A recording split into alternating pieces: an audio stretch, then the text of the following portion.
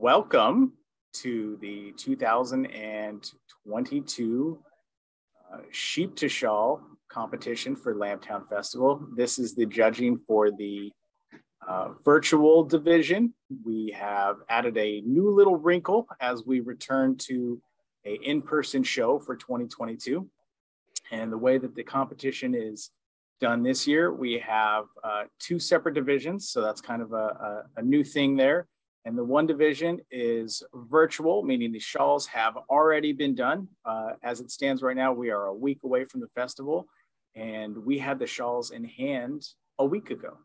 So two weeks before the event, the shawls are already all done. And what we're going to do today in this video here, we are going to uh, hear their placements. We're going to see uh, who got first, second, and third in that particular division. And when it comes to the actual in-person show, when we get to the fairgrounds on, on Sunday at about three o'clock, once all those teams are done weaving their shawls and they have them off the loom, that is when uh, we'll figure out who's the fairgrounds division winner. And then the winner of both divisions go head to head and we get a grand champion. So it's really uh, a really fun way to include people from around the country at our in-person festival. So thank you everybody for joining us. And I, I do want to thank our three teams who competed in the virtual division this year. It was uh, really fun to see those shawls come in. And I also want to say uh, not just a, a, welcome, but a thank you to Kaye and Sand, who are our judges once again this year. Uh, if you all watched uh, in 2020 and 2021, you're familiar with them. Uh, they did a great job and looking forward to what the two of you have to, to say about our judges today. I, am I should say what you have to say about our shawls today.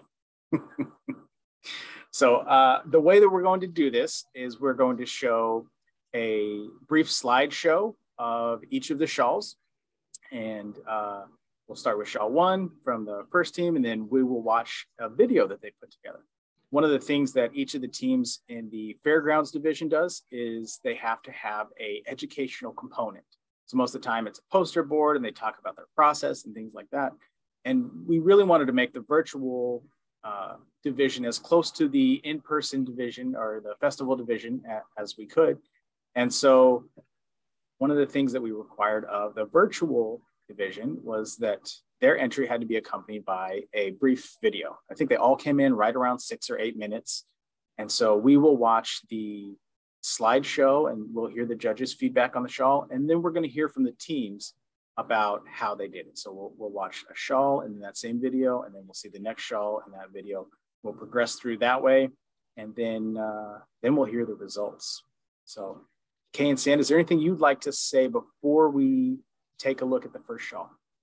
Just a little bit of historical background on sheep to shawls. This was a way for the community to come together, for people to step out and show their ability to do these tasks, which at one point were really critical to our existence. You know, clothing. We didn't need clothing.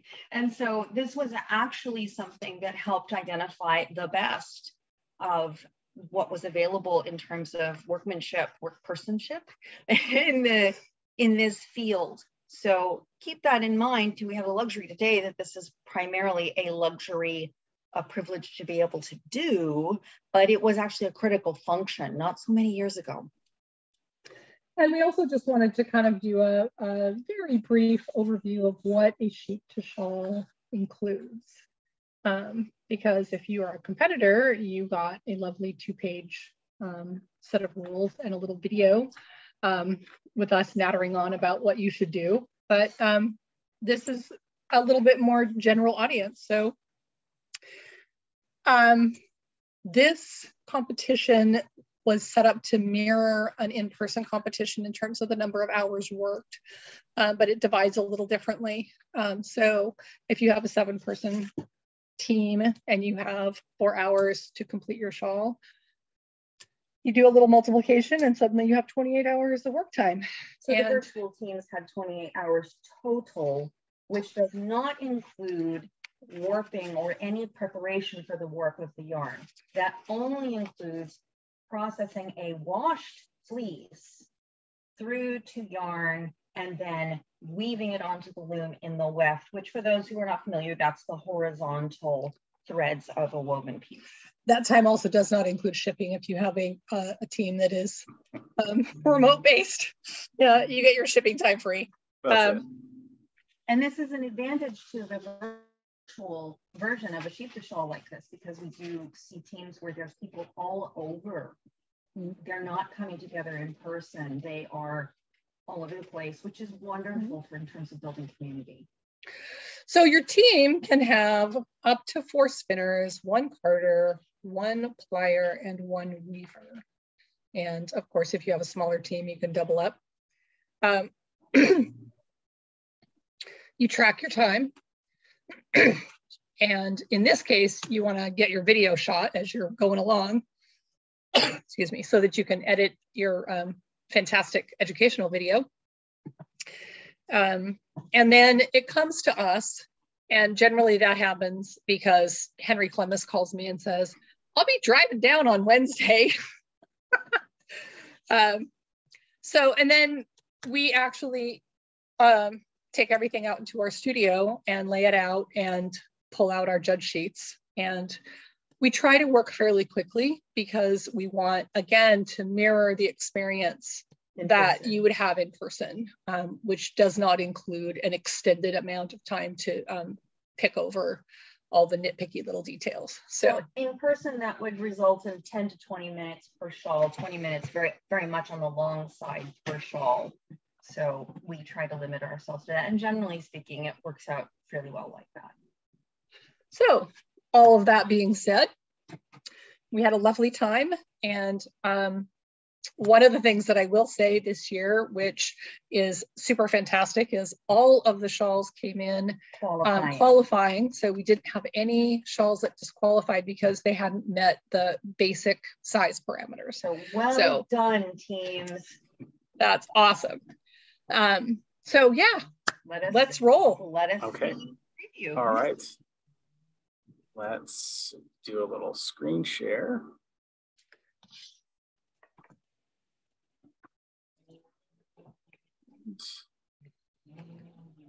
All right, you guys seeing that? Yay.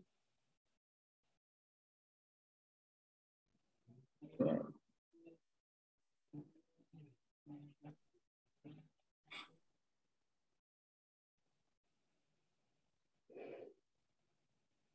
Give it a minute. Okay. So here, it's, here, it's yeah, running. It's running. Here's here's the three shawls. Okay. okay. Team one. Team one produced a shawl with um, Romney in both the warp and the weft. Um, right here. Um, the it is a hand spun warp, and part of the warp is hand dyed as well. Um, one of the interesting things about this shawl is they added beads to some of the warp threads. And it looks as though they did that by um, putting them onto the single and then plying them so that they remain stable and in position once the shawl is woven. And they are stable, I checked. so well done for the spinner who put the beads in, or the spinners who put beads in. It does qualify at 24 inches wide and 83 inches long as we measured it. And it had a, uh, I, yeah, so there's a stated wraps per inch for the yarn. I, first thing I wanna feedback on this particular shawl is that the set is a little bit too open. It will close up when it is fully wet finished, which for those who don't know is when you take your woven piece, you put it in water and give the fibers a chance to relax and bloom and fill in spaces, but it is still too open.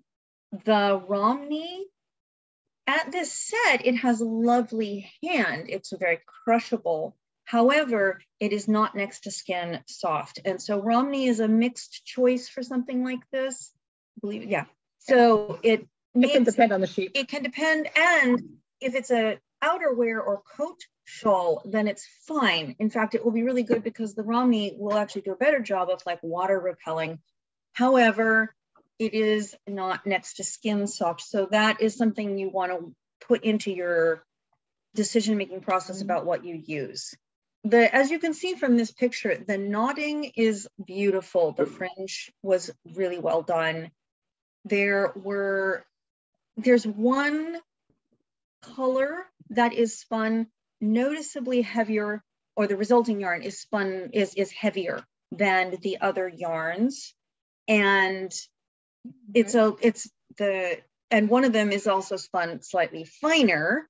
And one of the heavier ones is actually underplied. So it has the appearance on the surface of the fabric as though it's a single and you have to really look at the weave structure to see both singles in what should be a two ply they are apparent in the fringe and then you can see where the under underplying is so it's really important for the spinners whoever your plier is, don't get in a hurry. Okay. Yeah, there we go. I'll pop it back so you can finish Yeah, thank you. Because I have a couple other things. Um, a couple of the other things that I noticed with this shawl is there is a there is a broken warp thread along the selvage at um, about I don't know a quarter or a third of the way up, and from that point forward, there the weaver had a lot of difficulty managing the selvage um, evenly uh, because that warp thread broke along the selvage. So there are missed um, ticks so one edge because of that. And the other thing, and this this is just something that I noticed in the shawl, and I noticed in a lot of shawls, when you're working with a yarn that's this heavy, um, when you join your weft yarn, because you will inevitably run out and have to uh, join it, um, choosing a join that um, sandwiches two overlaps overlaps two uh, strands of yarn in the in the uh, weft has a tendency to look like a beat error that doesn't go all the way across because it thickens the yarn in that area. So it's worth your time uh, as a weaver to learn some different techniques for joining. And just as a um, quick piece of information for that, there is something called a split ply technique that you will not see the join in of the new yarn. It takes a moment or two more, but the end result in the texture of the shawl, I'm looking at the shawl down here, mm -hmm. the end result in the texture of the shawl is much better because you don't have that visual disruption of a thickened line. And you can see here, hold on, just pop it. There we go. There's the broken one. And from that point, you see the selvage becomes much more uneven. And like this side before the break, you can see that it's pretty even, although I will note that there's a lot of compaction here. So that's an issue and may so have contributed to the broken warp thread on the selvage. And the only other thing that I wanted to mention is when you're picking your pattern um, to lay over a striped warp, um, be cognizant and aware the pattern changes. So this shawl was woven in an extended twill which means that an extended point twill. extended point twill. Yeah. Sorry, extended point twill, which means that you have a pattern that comes up to a point and then shifts and goes down, which is fine, except that one of those points occurred in the black stripe. And since the weft is um, most of you will see beige, that dark brown, by the way, but it is technically like it's, it's, undyed, and I this is actually dyed.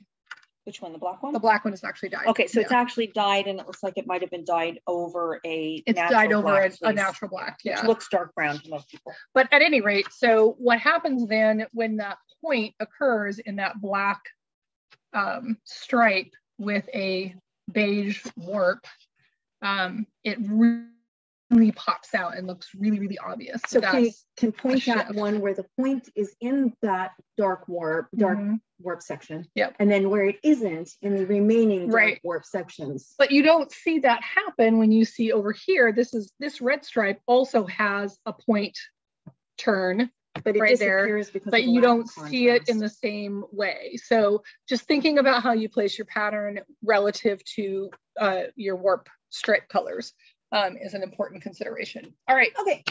team two. Yeah. Uh, so first we're going to do the the video. Oh, we're going to do the video. Team yeah. Yes. Team one. But I also want to say the the points that you brought up there were great because we are going to have these shawls on display in the East Classroom building throughout the festival. So this is something that people will be able to walk up and be able to, to take a look at. So uh, let's hear at this point what hear and see what team one had to say about their shawl and uh, they'll probably introduce themselves along the way. Mm -hmm.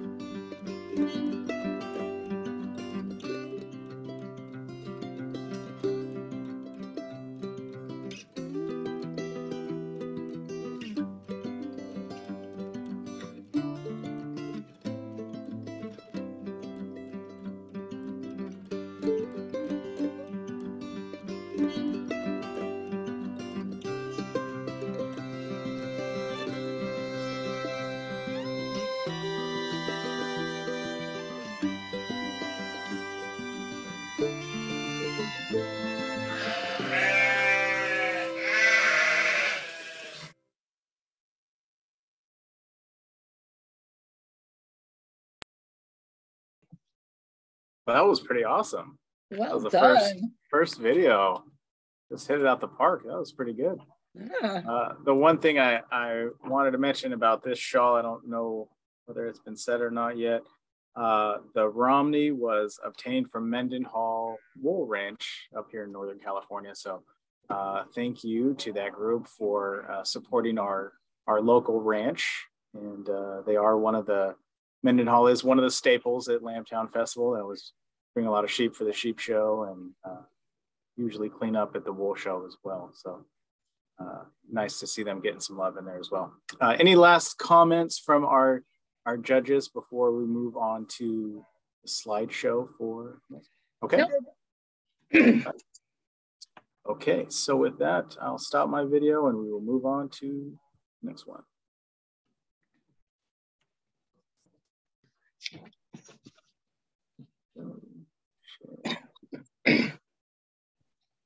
Okay, so there'll be a few seconds of this. Yep, and- that's fine. And we'll move on to the next. That is a nice shot to show how even the fringe was on the previous shawl. All right. Team two.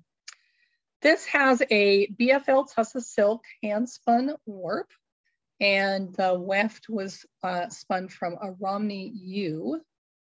It's uh, 12 EPI. Or and- that's what they were shooting for. yeah, Actually, yeah, yeah, and 11 picks per inch is what they submitted. Um, the shawl length is 95, a generous 95 inches, and uh, width is 21.75. I love a good generous shawl. They're always nice. Uh, Go ahead. So it's really well done. It was the best shawl in terms of fringe manage, uh, sorry, in terms of selvage managers. The selvages are, are quite lovely. You can just, I, maybe, No, oh, you can kind of see it in the edge there. Look how nicely it falls in that image. You can feel the difference in the warp being a softer, more next to skin uh, fiber. It's got a really nice hand. Also, the Romney you used in the weft, uh, she was a softer sheep. So Romneys, you really have to judge um, fleece by fleece in terms of hand spinning desirability. The fringe is beautiful. Oh, that's look a at that great beautiful shot. fringe. It's It's even, it tied gorgeous. hand It's- it's- tied evenly. yeah, so. Sits right up next to the fell line. And when you look at the twist across the fringes, every single one of them is so close in terms of how twisted they are. So they look very uniform and very clean. There is hem stitching on the shawl as well, and the hem stitching is beautiful. It's actually one of the best examples I've seen in a long time of this particular hem stitch technique, which reaches up into the warp. You can see there the turn point there are no treadling errors on this shawl. There's no place at which the pattern is unintentionally broken. When you look at the picture on the left, you'll see the turn point intentional of the center of the shawl. It's beautiful. The pattern that was, there's a dyed pattern in the warp and it was extremely well executed. It shows up in the weaving. You can just see the edges of it right there on the picture on the left. Um, you can see how evenly it is beat. So there's not a lot of noticeable places where the beat, the amount of pressure to put the weft in Mm-hmm. place, it shows, although you can, whoops, you can just There we go. one spot right under the fringe on the left side where it just looks like the pattern's a teeny bit different. And that's where the weft was placed with just a tiny bit less force. And again, this shall use that same technique to bury ends where there's an overlapped Mm. set of threads. And again, um, this yarn is kind of heavy for using that technique. And so it does um, give the impression of a little bit of a beat error that doesn't quite go across. In this shawl, it's less obvious because the main, the background of the shawl where it's undyed um, tends to hide it a bit better because it's same color warp and weft. Um, this shawl was uh, dyed, the work was dyed using a technique called stenciling. Um, we do. So it, there's some minor diameter irregularities, but only in the weft yarn. So that would have been the yarn that was spun during team hours. So I'm guessing that that's uh, getting a little bit rushed. It's not enough to detract from the pattern in part because of the very wise choice of the background being warp and weft mostly the same color. That's a really good choice for a situation like this. So it's a good thing to keep in mind. We want the pattern to show up, but we don't necessarily want it to show something that doesn't need to be highlighted. The warp was well spun and stable, so very strong, good choice of twist for stability versus good hand. I'm incredibly cheerful with the, the hand spinning on this particular warp. And this team Shawl. provided some information about their process, um, which uh, included one of our particular um, soapboxes, which is sampling. This team actually wove an entire shawl with no spun yarn to sample their pattern and their draft and their dye technique and, and all the various components. So they, this, this, once they sampled a full shawl, then they came back and they were able to actually implement any shifts or changes that they needed to make in their final shawl. So I cannot emphasize enough how important sampling is in your weaving process. Um, You got to hold the shawl up and actually show it moving because even the pictures don't do it justice. This shawl actually has that lovely meeting point of good crushability, nice drape, good flow in hand, while also being stable fabric. So it's neither too open nor too compressed. So the shawl doesn't feel like it's too heavy to bend. It's got a, a it's just a perfect match of those two factors that can be very can compete against each other. Do you go for hand or do you go for stable fabric? And also it, um, you know, if you kind of look back to the origins of sheep to shawls, which um, at a lot of levels shows the community that you are, you, you, you are able to make a marketable product. This is definitely meets that goal. Absolutely. So, okay. I think that we are ready to roll video on this team.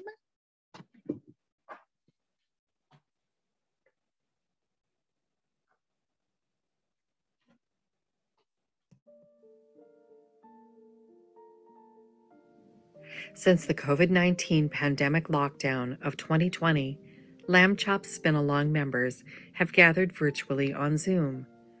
We are a gregarious bunch of fiber artists who delight in sharing all aspects of spinning, weaving, and fiber processing.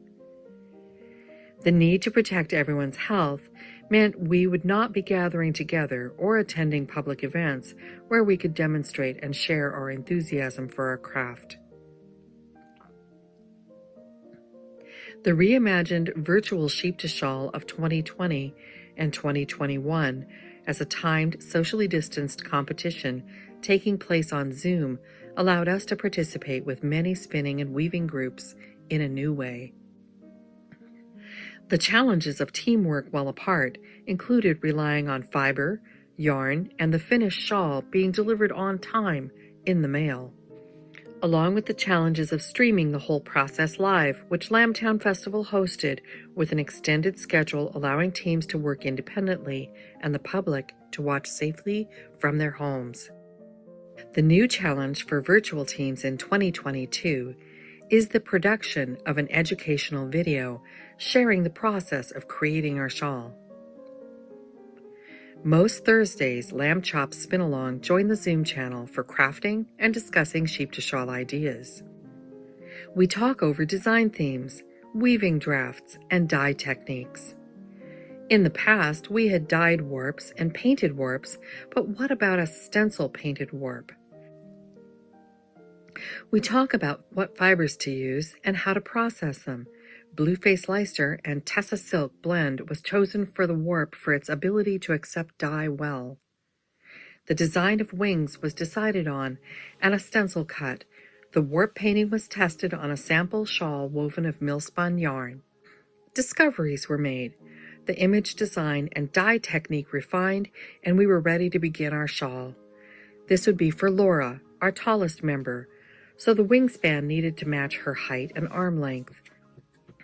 She wanted the design to evoke a ceremonial dance shawl for Hummingbird Clan. To create the shawl, it had to be woven twice. The warp was spun, plied, and wound onto the loom, and stabilized with a temporary weft. Then it was pulled off the loom and onto a long table where the stencil could be put in place. Laura and Selah painted the wing design with Jacquard acid dyes that were thickened with sodium alginate to prevent the colors from spreading uncontrollably through capillary action. The tips of the feathers were dyed golden yellow, followed by hot fuchsia, violet, and turquoise at the center. The stencil was cleaned, flipped, and the process repeated to form the second wing. The warp was left in place for approximately four hours to set the dye. It was rinsed, dried, the temporary weft removed, then it was wound back onto the loom, finally ready to be woven. The fleece chosen for our weft yarn came from Lyra, a natural colored Romney ewe. She was the grand champion of Black Sheep Gathering in 2019. The clean washed fleece was hand teased by Judith and passed to Terry for drum carding into smooth bats, ready for spinning.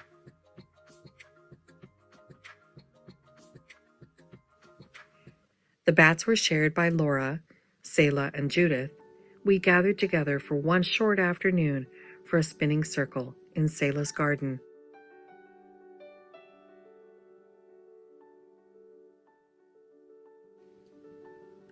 The singles were plied and loaded onto shuttle bobbins, ready for Selah to begin the weaving. The weaving begins with a header of temporary yarn to test the weave and give stability to the warp.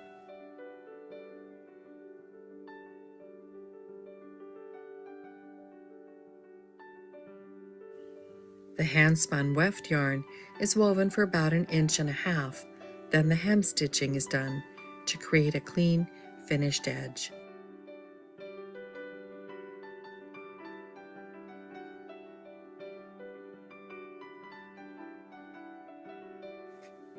The simple twill draft chosen for its mimicry of feather texture works well with the painted warp. When the center of the wing design is reached, the direction of the twill is reversed to create the backbone of the design.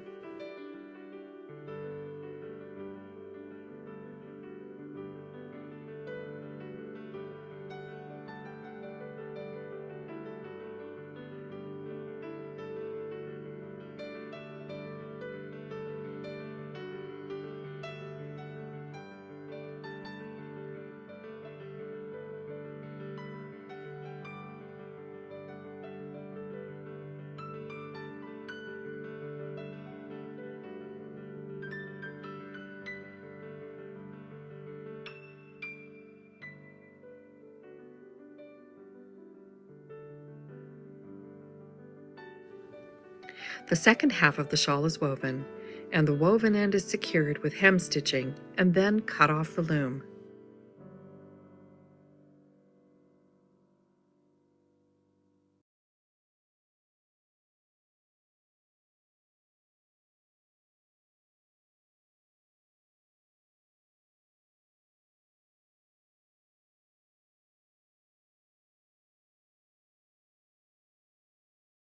The shawl was misted and fulled lightly by hand drumming on the whole surface. It was left to rest on the table surface to dry out. Selah twisted the fringe ends in bundles of three and three ends, plied together by hand for an elegant finish. Our winged shawl was complete, packed and sent on its way to Lambtown Festival. Thank you to all the Lamb Chop Spin Along members who processed, spun, wove, and cheered us along. We appreciate the work that Lambtown Festival has done to create a virtual sheep to shawl and send our grateful thanks for the opportunity to participate. Yours sincerely, Lamb Chop Spin Along.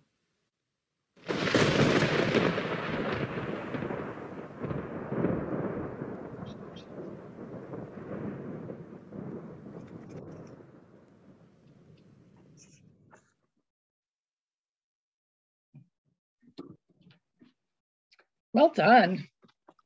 I, I have to say, I've not seen these videos yet. This is part of uh, uh, the thing that I have not experienced yet. I, I, got to see the shawls for just a little bit when they were getting photographed, but the, these videos are are quite impressive. And so, thank you to these teams for creating this. And they will be available as well as this judging. They'll all be available on YouTube later on, uh, as well as the the judges' notes, uh, your your comments ahead of time, as well as uh, Kira's comments that she had for Skeins and Textile. So if somebody has uh, something that they're submitting, uh, that's available as well. So, uh, you know, if you're thinking about competing in any of our events, uh, our Skeins and Textiles events for uh, Lambtown Festival, we do have these resources that will be available to you on YouTube to help you get started in the future to compete.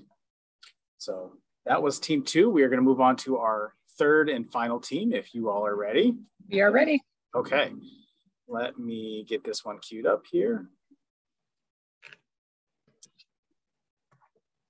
And again, it'll probably play for just a little bit on shawl number two, and there we go. There we go. So you can clearly see the pattern on the shawl, which is a plus minus. The choice of the color of the warp with the dark color of the weft means that when you see the shawl in person, it has a little bit of that dizziness to it, which could have been dealt with by a slightly more open set or choosing the colors to be closer in value, which you can do by taking a picture of the two colors together and making it black and white to see how far apart they are.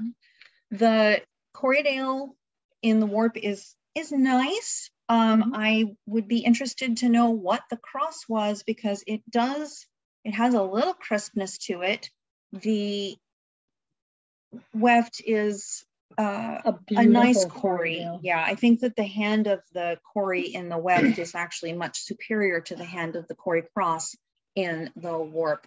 Um, Which overall means that the shawl then becomes more wearable because the weft yarn actually softens the, the whole presentation. Um, it has uh, good hand, good drape. Um, so the set that they chose works really well um, for this yarn. It, I believe this shawl is probably not wet finished. I think wet finishing would probably soften the hand of it considerably. It is, however, a heavy shawl. So it looks look there though. I want to really highlight this. This team also did hem stitching that's quite nice. It's and beautiful. the, yeah it is beautiful. Look and everything's trimmed beautifully. And i will say that the choice you can just see here of the plain weave before starting the pattern is a really good choice in terms of stability of the end of a shawl. I will point out however that you do the weaver does need to take into account that things may not sit the same at the edges when you go from plain weave to twills in particular. So, so adjust your tension. You have to, to adjust your tension on those picks. Mm-hmm. And that is, this shawl is superior in the selvages in one aspect while being a drawback in another. The, you'll see from the pattern, the way it's draping there in the picture on the right, there's very little compression of the pattern at the edges. Oh, there, that's a great picture right there to show it. Very little compression of the edges. However, it is quite loopy the weft makes noticeable loops on the edges. And because there's no floating selvage in the same colors as the weft, the loops are very prominent, looking a little bit like a barber pole, but you can see more easily where they're uneven and it make, visually makes the uh, selvage look more uneven than it actually is. Um, this, uh, that was in the videos. Yeah.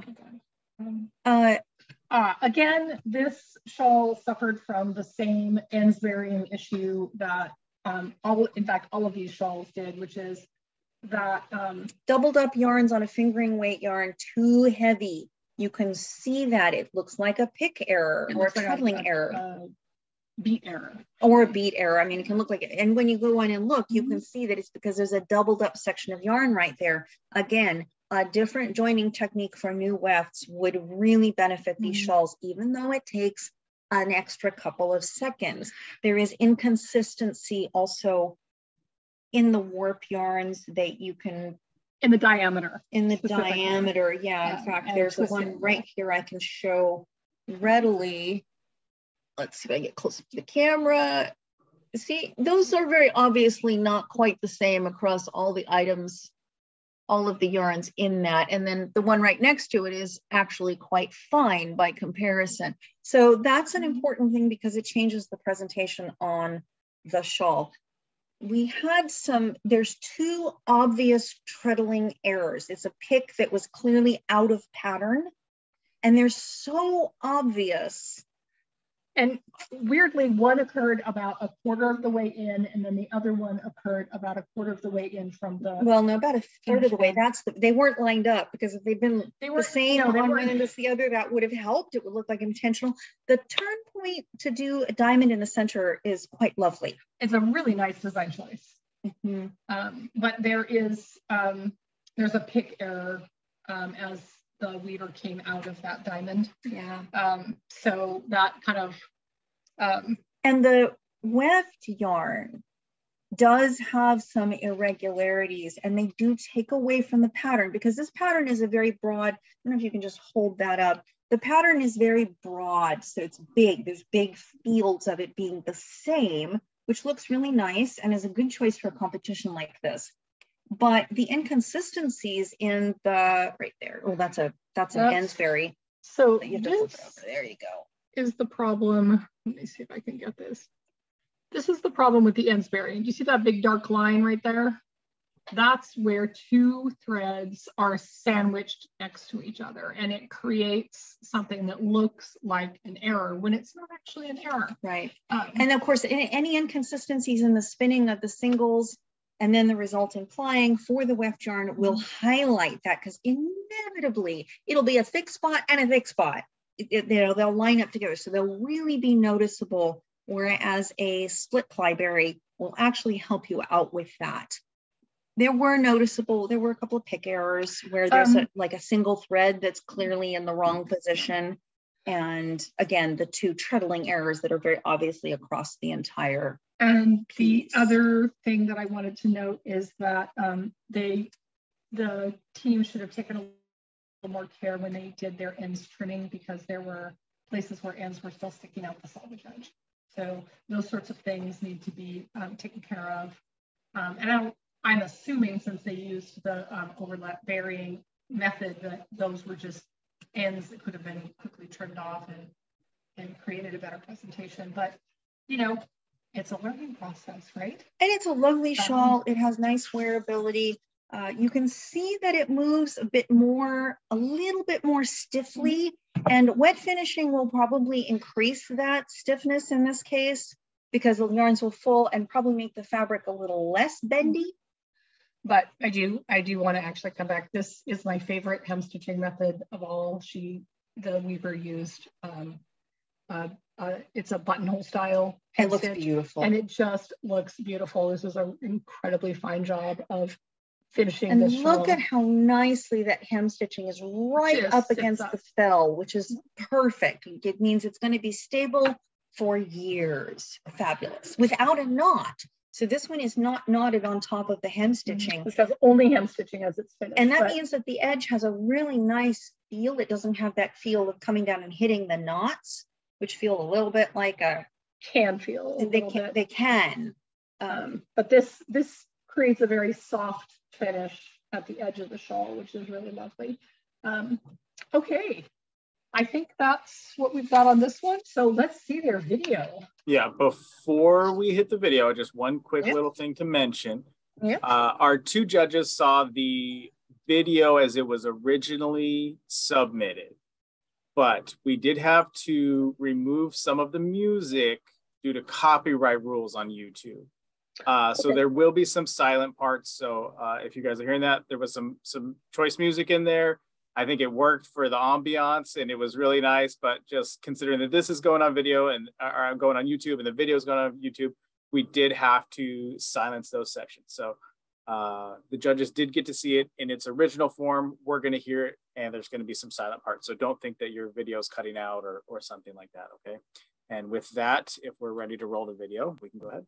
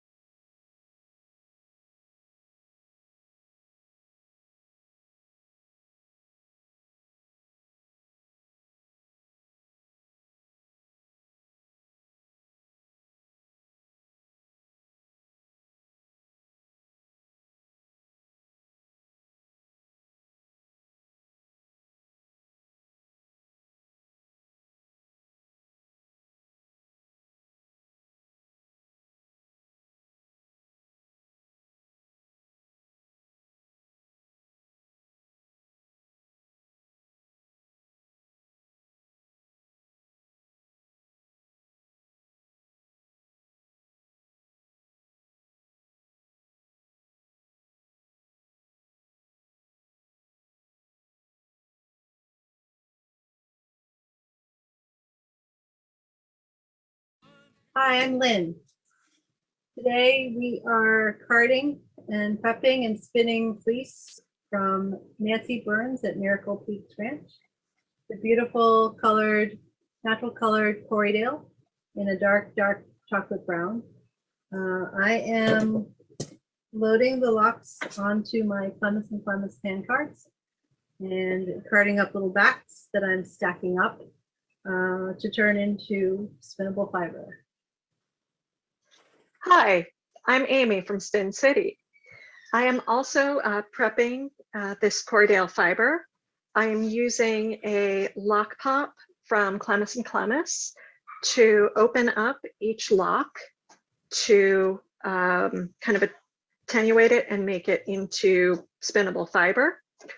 Uh, it really does not take much effort uh, between the great quality of the fleece and the tool um, just a couple little passes um, on the lock top per lock really uh, opens them up and gets me ready for the next step.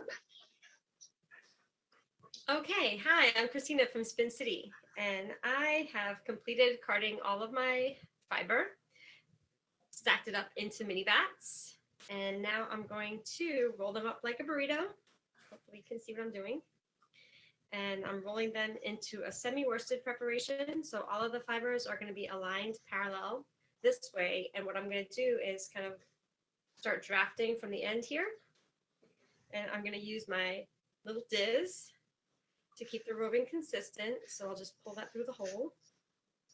And this is gonna be a nice chunky roving, easy to spin from. And just attenuate the fiber through the hole in the diz.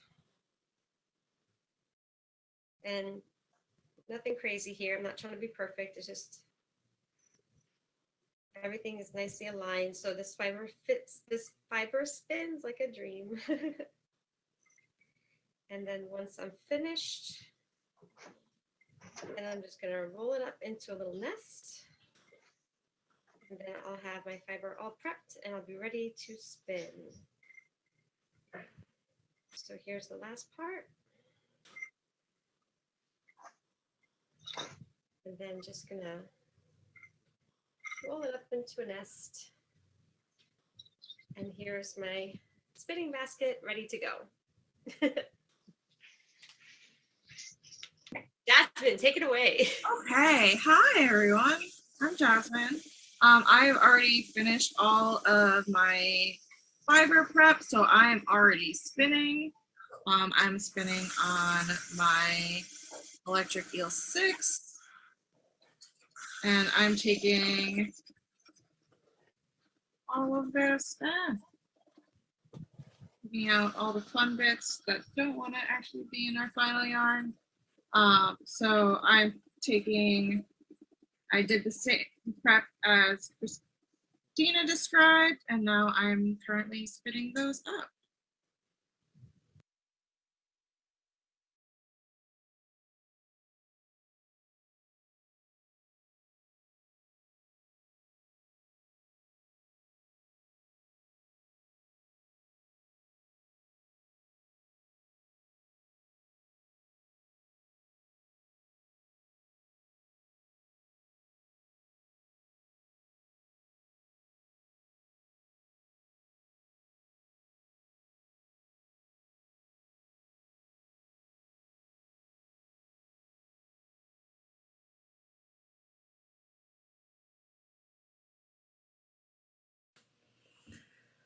I am hem stitching in groups of six.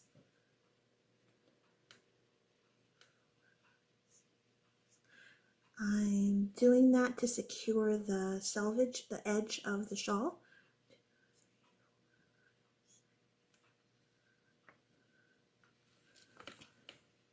I did a about an inch of plain weave at the beginning. Just to provide a sturdy edge for the hem stitching.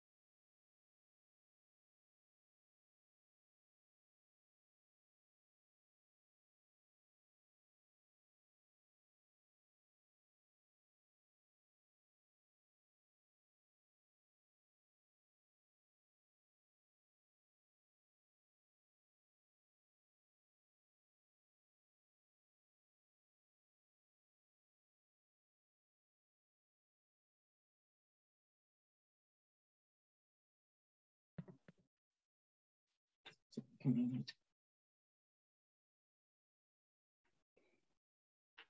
All right. It was more fun with the music, but I I, I completely get um, how that happens. So this is a good note to people making videos for future competitions to make sure that you check for your um, copyright information on any music that you want to use because and or make sure that there's some kind of sound stimulation going on in the video because video we have to think not just of information or what we Visual. see, but we also have to deal with the auditory. So that's a good thought for anybody making a video. Make sure there's either talking Music, information, information. music, something. Yeah. And and I will say uh, just a couple of things. Uh, this is the first time we've done the virtual component where we send them the video on. So it's a little bit it's a little bit on on us as far as the festival, as far as not being clear about oh hey you know we did say they were going on YouTube. We we didn't really think to specify that we couldn't have copyrighted material.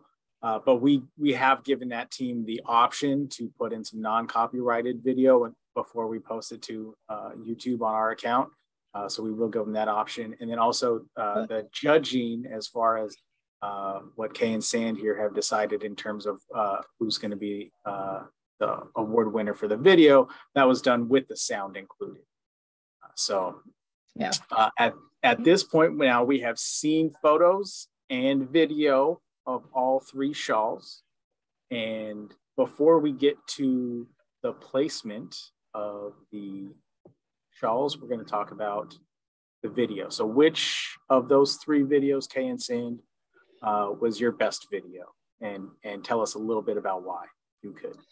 So our our first place video um, is the video for team Two. um, two, which is Hangtown. Or sorry, is that team one? Yeah, no, that's team No, one. team one. Team one. Team one. Yeah, Hangtown. Hang, Hangtown was team one. Hangtown.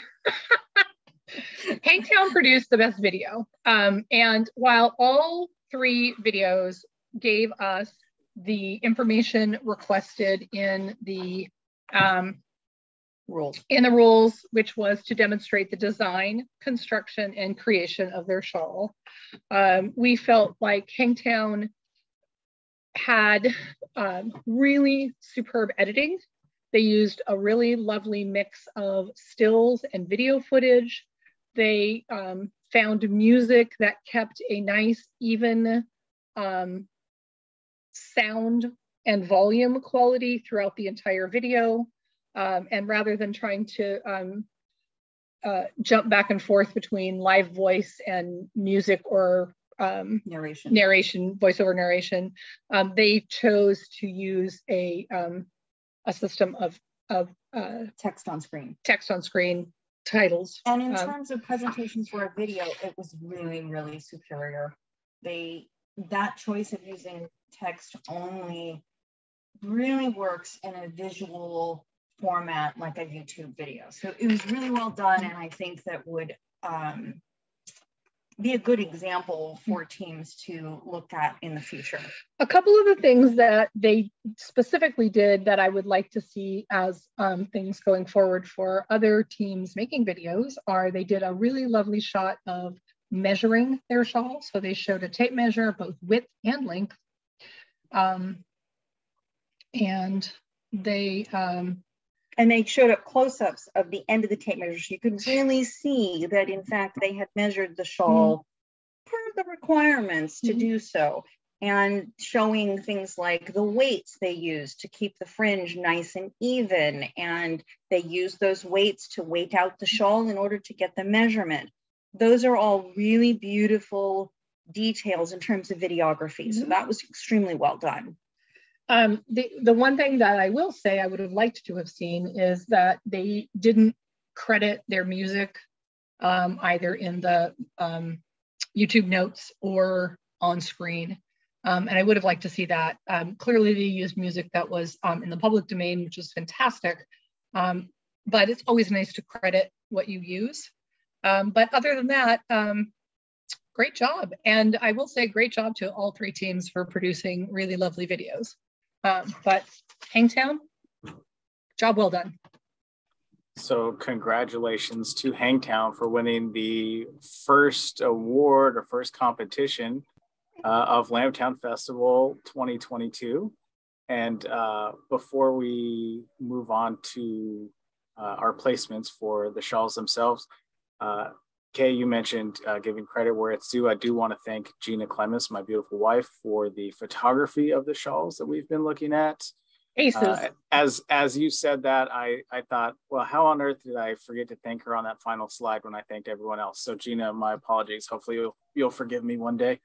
Uh, and uh, thank you for all the wonderful photography. So with that, if we're ready, uh, we can go ahead and uh, take a look at where everybody ended up here. Okay, here we go. Bring it over. Oh, there we go. All right, so here's a look at all three of them. And this is gonna play a little bit. And I think then we get to see their names and then it'll pop into a slide of who came in second place.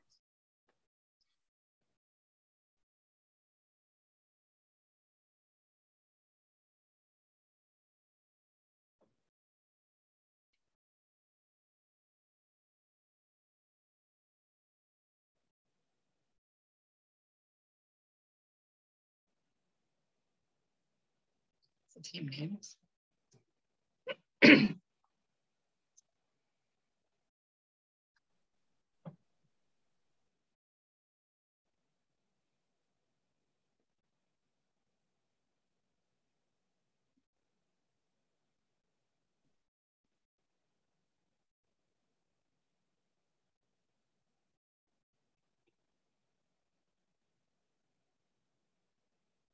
Okay.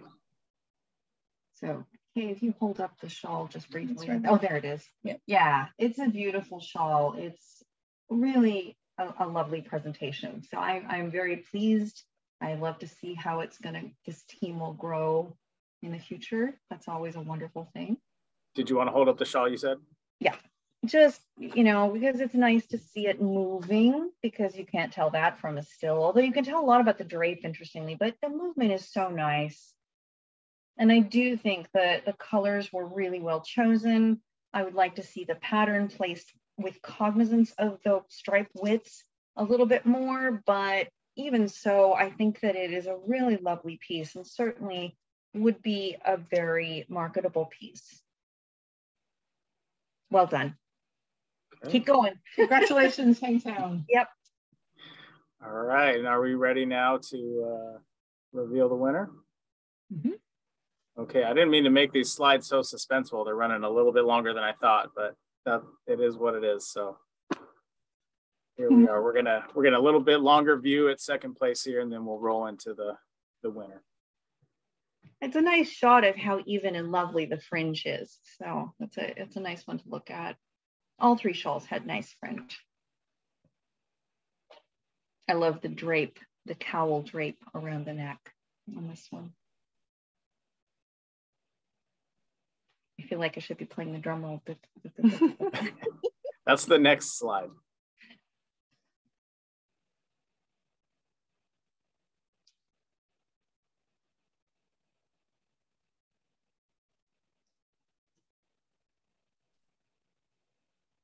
There's your drum roll.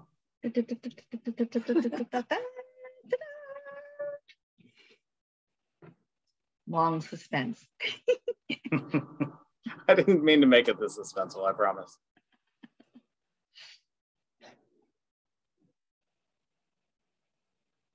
Yay! Congratulations!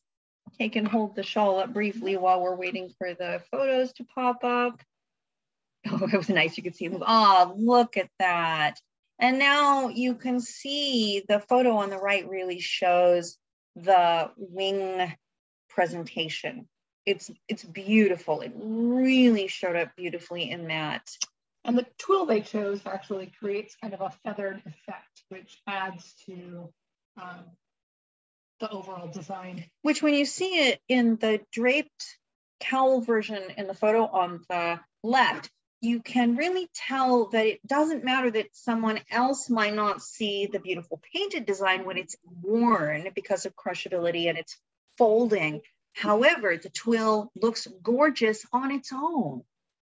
It's a beautiful presentation, even in that position where it's folded up. So just a really, really well done. And you can really see how lovely the selvages are. So thanks. That was gorgeous, you guys. Absolute folks, everybody, it was, they, they were all lovely. They were all lovely. Really lovely. And and I will note that you know, sampling pays off. More It- sampling. Do, do you want to hold the shawl up and talk about anything anything else specifically about it? Gu- Gush a little bit more. I mean, It Yeah. really shows, it really shows the benefit of the sampling. Um, this, by the way, is is from it being folded, so that there's not an error there. It, the benefit of sampling here really shows because then you know how things are going to behave and it makes a huge difference in your outcome. And keep in mind, teams, that your sampling does not count in your time for making the shawl. Sample, sample, sample, sample. And if you, you know, as we watched the video um, for this team, it was clear from the um, initial sample dyeing that they made shifts to their final shawl um, based on that sampling. So um, understanding what happened when you do your sampling gives you the ability to make choices on your final product. Oh, hold up the gonna- center though. I really, Oh, really want yeah. to show this center in, in movement because even when it's moving a little bit, and I'll just give it a little bit of movement here, you can really see how beautiful the pattern turn is to highlight the center of the wingspan. It's just, it's really a gorgeous. They really did a nice job. And there are no treadling errors on this shawl, which is really, really important on something like this. So it has a very, um, a very, uh, it's very impactful when you see it, when you, when you actually open it up. The visual impact and the hand is good. It's a nice combination of squishy, comforting, and still good and drapey. So they really did a nice job. They actually got done in time to have a, um, as now Hand, hand finishing. yeah, hand finishing. So they did a really nice job of that.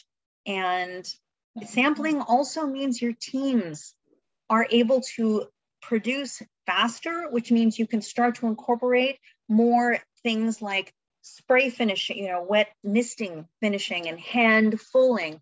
If, if your team is experienced and you've done that sampling, you've got the practice under your belt that the things start to actually happen faster so you can incorporate more finishing techniques at Yeah. the end, which allows you to present a more finished shawl. Yeah, it makes a huge difference. Um, so congratulations to Lamb Chop, um, Spin Along, uh, well done. And congratulations to all three teams. You all did fantastically well. And I hats off on the video presentation because that is not in my skill set. So I have all kinds of uh, Well done. props for that.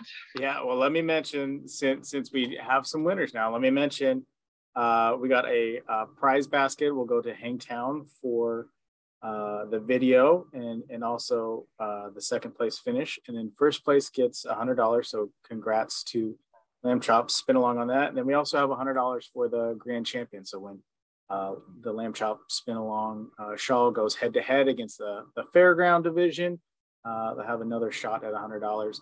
Also wanted to mention that these shawls will be on display in the East Classroom building uh, throughout the festival. Uh, we'll try and get them up um, on Thursday and Friday, so they're actually there uh, during the workshop. So if you have a little break uh, from your workshop, pop on over to the, the East building. And We'll they'll be on bringing them in on Thursday. So they'll be Okay. available on Thursday. Perfect. And yeah, please, everybody come take a look at them. It's well worth Yes. having a look at these, all three of them. And uh, we have a just a, a little bit of time here, and a couple of questions came in. If anybody has any other uh, questions that they'd like to ask, um, I'll take the first one here. Is uh, where's where's each team from? And uh, Hangtown, uh, the Hangtown Fiber Miners are from Placerville. Uh, Spin City, which is the uh, team number three, they are from uh, the New York City area. Uh, so it's really fun to see them compete. It's awesome uh, that they bought a California fleece to compete with uh, in New York. So appreciate them uh, supporting us out here. And then the other team, uh, Lamb Chop Spin Along, is from the Seattle area.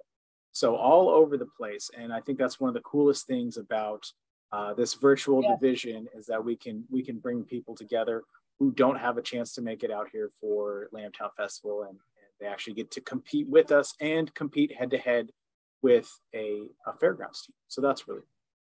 Uh, the other question that I have here is for you two, Kaye and Sand.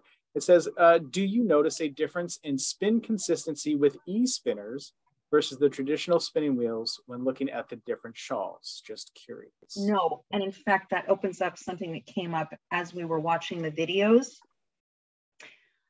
When you prep your fiber to spin the weft, well, this is true the warp too. The difference in the yarns came in the preparation, not the type of wheel used.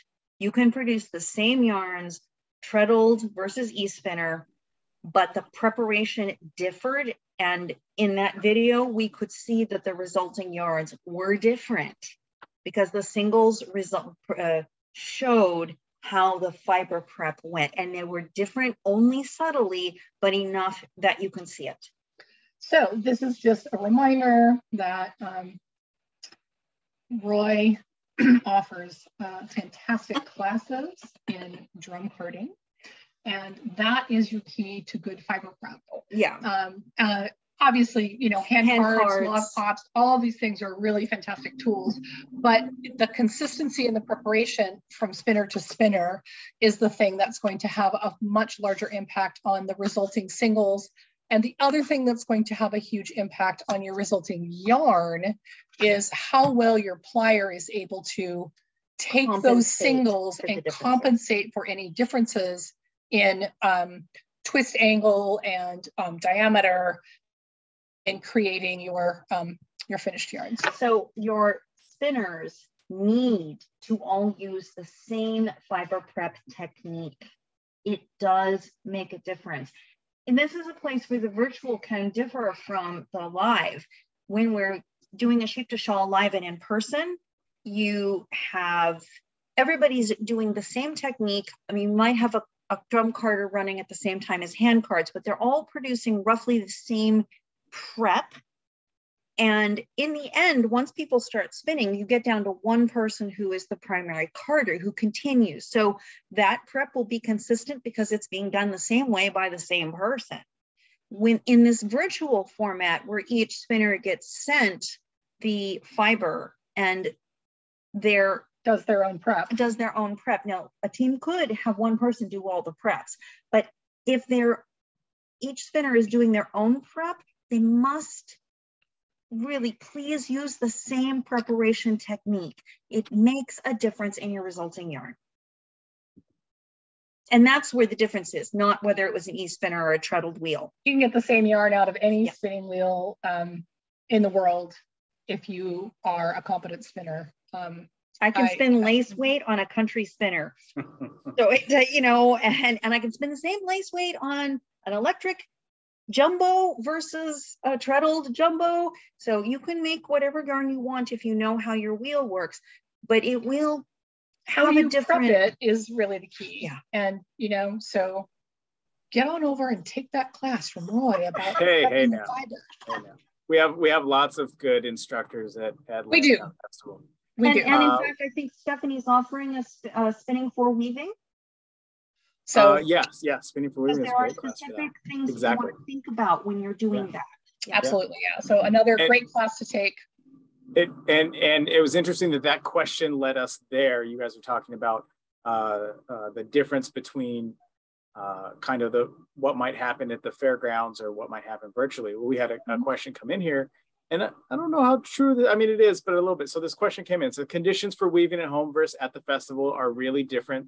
Uh, uh, the example is a complex treadling would be hard at the festival. Uh, will that be taken into account when comparing the two best shawls? And I, I think you have to kind of take into account all the differences there are between virtual and, and fairgrounds division. But I, I'd love to hear what, what you two have to say about that. So specifically, the complication of treadling. It, there is a little bit of a difference between the in-person where you might have people talking to you and bothering you. and Distractions. Distractions, yeah. And at home, you're probably going to have less of that, although most of us at home have other distractions. But the level of complexity of the treadling, I feel like has a lot more to do with your choices about the design of the shawl. When you're designing a shawl like this, you're up against a time crunch, whether it's in person or virtual. They only had so many hours in which to do this piece of production. So picking something, a pattern that will present well with your warp and your weft and is a pattern that will be easy enough for the weaver to accomplish in a good technical manner In a at the limited s- time. at, in a limited time Mhm. and at the same time complex enough to highlight to feature the yarns that were used So for instance, in the shawls that we just saw, and we'll see what happens when we get to the um, in-person component, um, twills that have um, extended points or turn at some point um, are great choices because the treadling patterns are relatively straightforward, um, but you get a lot of bang for being able to flip it and go back the other way or um, come up to a point and come back down and, and things like that. So in that way, the kind of draft that you would want to choose for an in-person um, versus a virtual is not as different as you might think.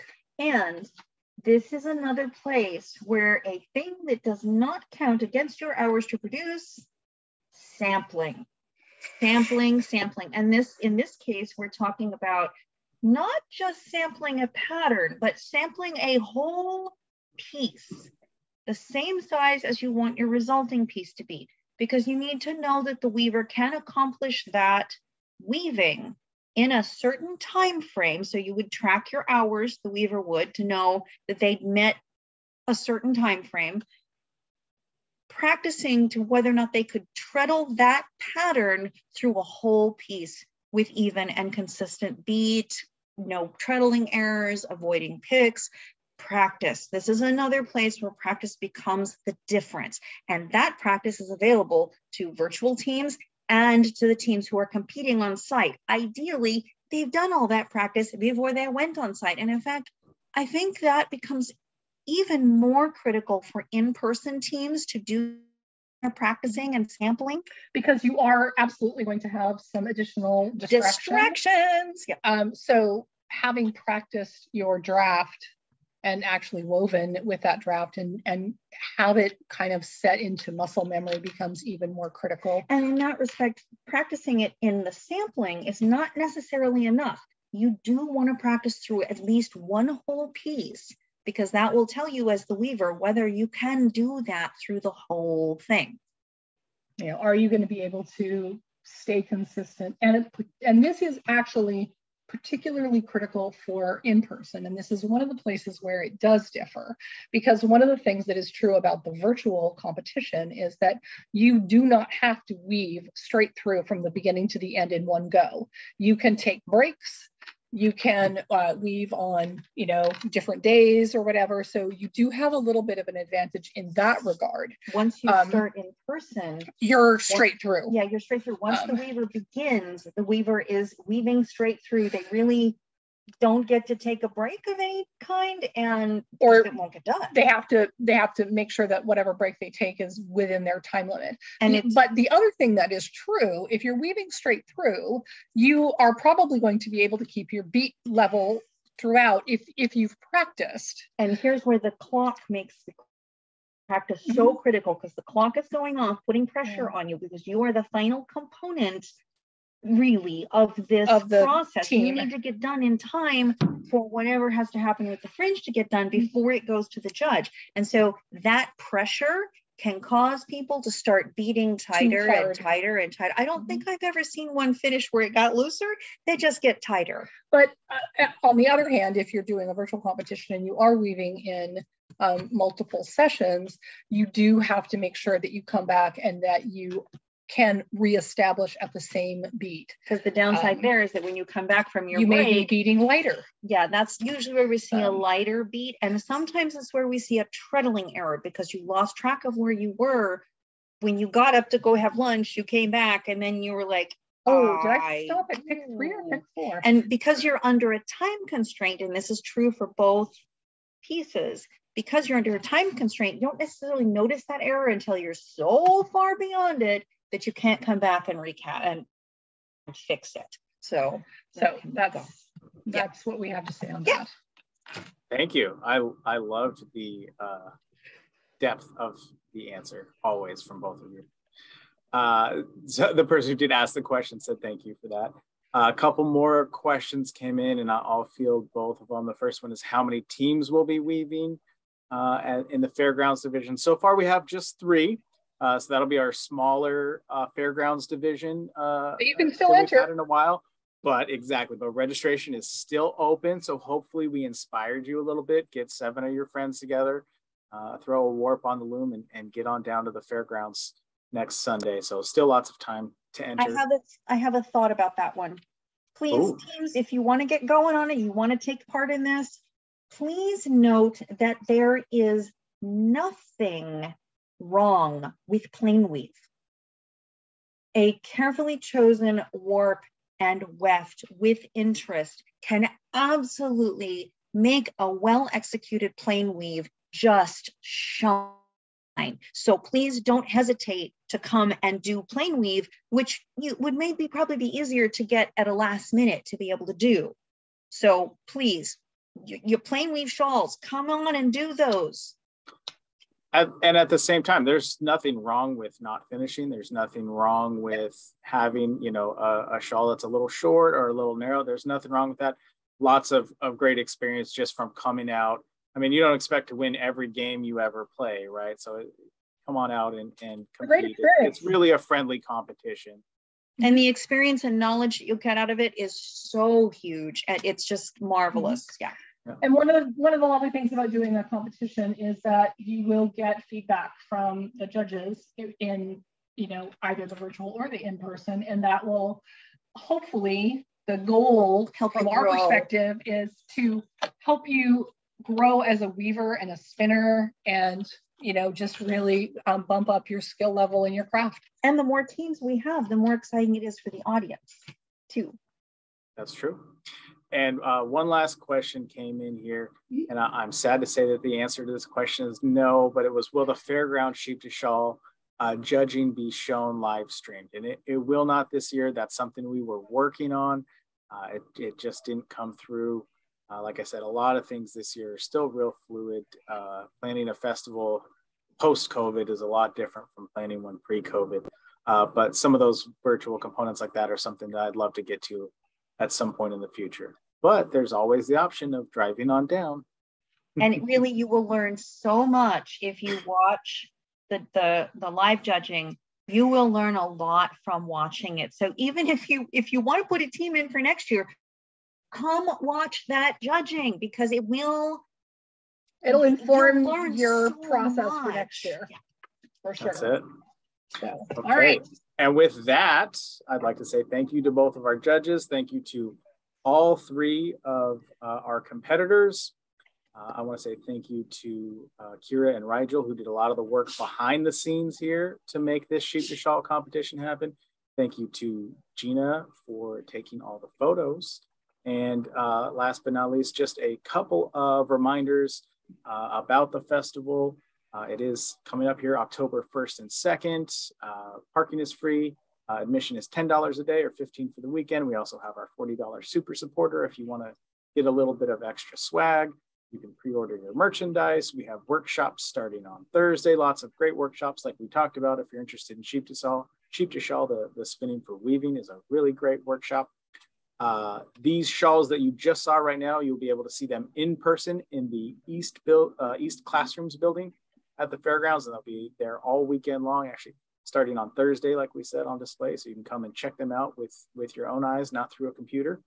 And what else? Oh, that's right, the head-to-head uh, on uh, Sunday at 3 p.m. Once the fairgrounds division is judged, then you'll be able to uh, see them go head to head and we'll get a grand champion and uh, see whether or not this one takes out the fairgrounds uh, division or, or who claims that first crown. So this new style of competition that we have. So I will say that you might have an idea that the virtual, because they're doing stuff at home and they're not under, they're under different kind of time constraint. People assume it will be better quality.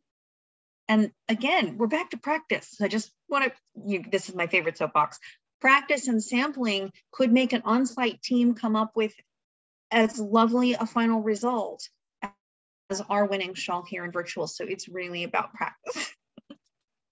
There you go. And thanks to you, Roy, for hosting this, Yes, for thank you so much. keeping this festival going uh, in these really stressful times. And uh, we look forward to seeing you uh, next Thursday. yeah, we'll see you all in just a few days.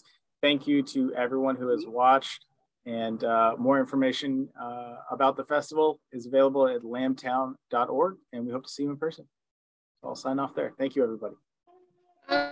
Bye.